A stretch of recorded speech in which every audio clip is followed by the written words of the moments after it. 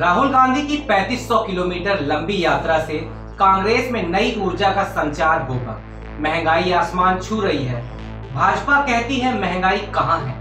कांग्रेस के संगठन प्रभारी विभिन्न मुद्दों पर भाजपा पर जमकर बरसे। राहुल गांधी की 3500 किलोमीटर की पद यात्रा से कांग्रेस में नई ऊर्जा का संचार होगा। भाजपा परेशान है। लोगों को सच्चाई पता चल रही है। राहुल गांधी जी क- कन्याकुमारी से कश्मीर तक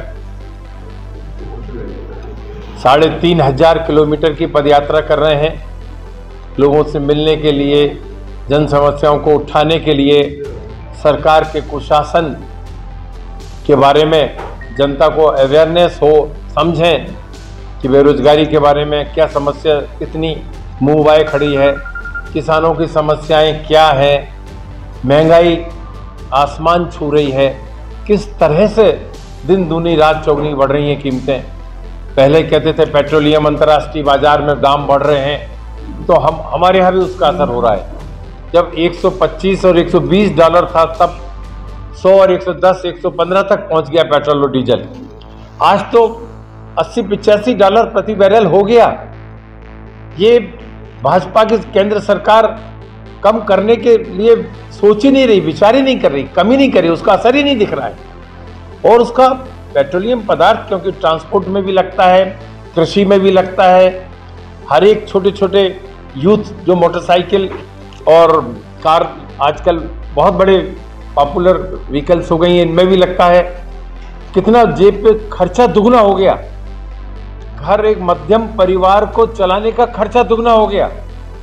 जो चार सौ रुपए का सिलेंडर था, पिछली मीटिंग में मैंने आपसे 800 900 बताया था, आज साढ़े ग्यारह सौ हो गया। छह महीने, पाँच महीने पहले की बात है।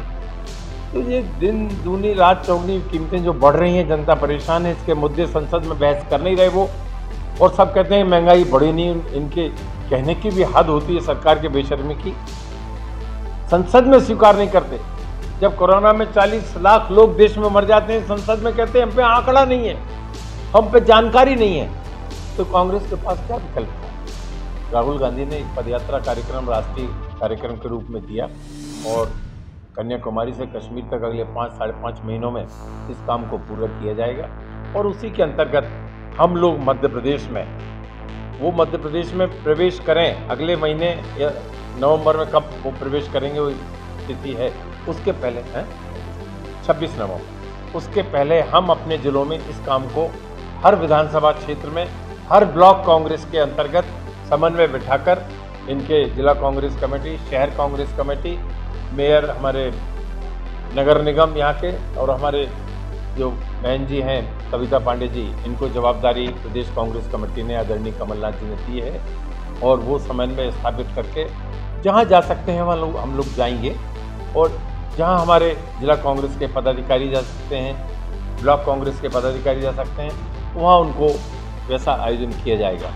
पर हमारा ये प्रयास होगा कि हम हर विधानसभा में ब्लॉक, मंडलम और सेक्टर तक, सेक्टर माने पंचायत स्तर तक पहुंचकर इन पदयात्राओं का एक अच्छा प्रभावी कार्यक्रम दे दें और जनता जनार्दन तक उन मुद्दों को पहुंचाएँ जो आज ज्वलंत समस्या बन गई हैं। और राहुल गांधी जी को क्यों मजबूर होकर ये सड़क पर उतरकर पदयात्रा करनी पड़ी? और उसमें भी इनका गोदी मीडिया, इनके प्रचारक, इनके झूठ बोलने वाले लोग किस तरह से प्रचारित कर रहे हैं, ये छिपा नहीं है, मुझे कहने की ज़रूरत भी नहीं है। स्वामी विवेकानंद जी के पवित्र स्थान से आशीर्वाद लेकर, परिक्रमा कर कर उनकी प्रतिमा का राहुल गांधी जी ने ये पदयात्रा शुरू करी। इसके बाद भी हमने ये देखा कि अंधभक्तों ने ये कहा कि वहाँ कन्याकुमारी में विवेकानंद स्वामी जी का आशीर्वाद नहीं लिया। झूठ की इम्तहा जो होती है, वो प्रचारित किया गया। प्रेस कॉन्फ्रेंस लेकर, फिर वीडियो कांग्रेस पार्टी ने भी उसकी काट काट में दिया। तो ये नेगेटिविटी जब तक इनके दिमाग से नहीं निकलेगी, कांग्रेस की बुराई करना, कुर्सी के लिए कांग्रेस की सरकारों को गिराना, विपक्ष की सरकारों को गिराना, ये भाजपा का एक ऐसा हथियार बन गया है कि जो एक संविधान के लिए भारत के लोकतंत्र के लिए वास्तव में एक चिंता का विषय हो गया। इसलिए ये सब मुद्दे इस यात्रा के दौरान आएँगे और भाजपा का नेतृत्व इसीलिए ज़्यादा चिंतित है। चरित्र हनन के प्रयास हैं, झूठ बोलने के प्रयास हैं और जिस तरह से इस पवित्र पद, भारत जोड़ो पदयात्रा के लिए चलाया जा रहा है कांग्रेस के द्वारा। हर प्रदेश में जो हज़ारों, लाखों लोग जुड़ रहे हैं, नौजवान जुड़ रहे हैं, बुज़ुर्ग जुड़ रहे हैं माता बहनें मिल रही हैं छोटे छोटे बच्चे। एक अद्भुत अनुभव राहुल गांधी के लिए भी हो रहा है।